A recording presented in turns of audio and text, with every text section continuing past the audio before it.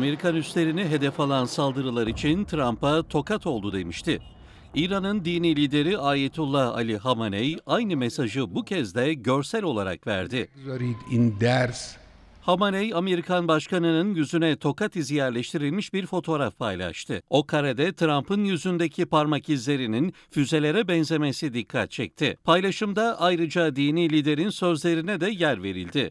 Hamaney bir tokat atıldı ama intikam başka bir konu. Askeri karşılık yeterli değil diyerek Amerika'ya karşı başka adımların da gelebileceğinin sinyalini verdi.